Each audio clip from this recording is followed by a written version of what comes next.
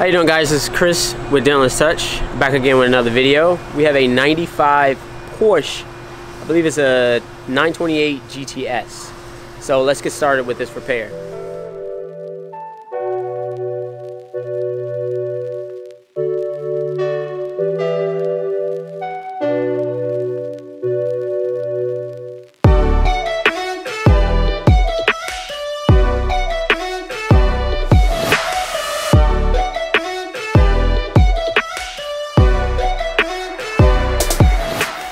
Hey guys, thanks again for joining me for another paintless dent repair video. This is a one owner Porsche 928 GTS with original paint. The owner decided uh, to use our services for obvious reason of maintaining this factory finish.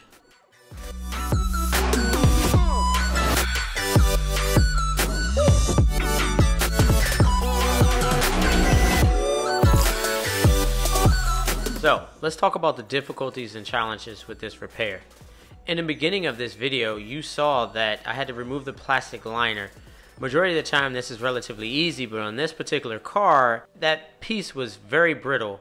So we had to be extremely careful when we removed that. Now, from my personal experience, older Porsche's factory paint does not respond well to glue pulling, so that leaves pushing only on this repair.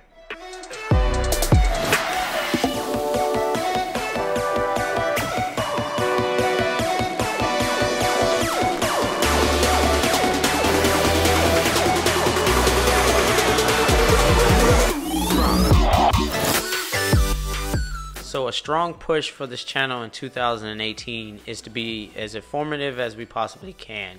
So we're gonna rate each dent from one to 10. 10 being extremely difficult, one being relatively easy. Uh, on this one, I rated a six. Man, the crown work on this particular repair had to be on point. Bringing up that marker light flush with the panel without further damaging the spidering paint was tough. So my thought process was to move the center of the dent first and then work on the crown. This decision was made by feel, just seeing how the metal was actually moving in the beginning of this repair.